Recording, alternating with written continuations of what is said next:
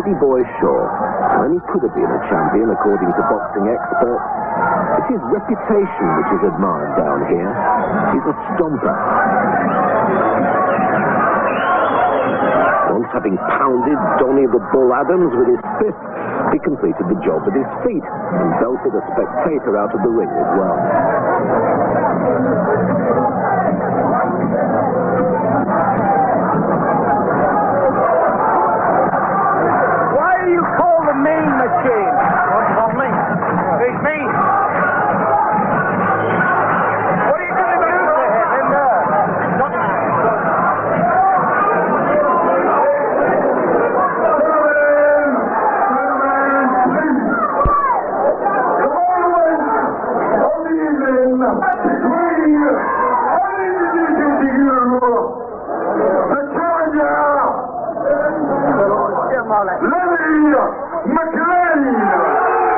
Opponent is Lenny McLean of Hoxton.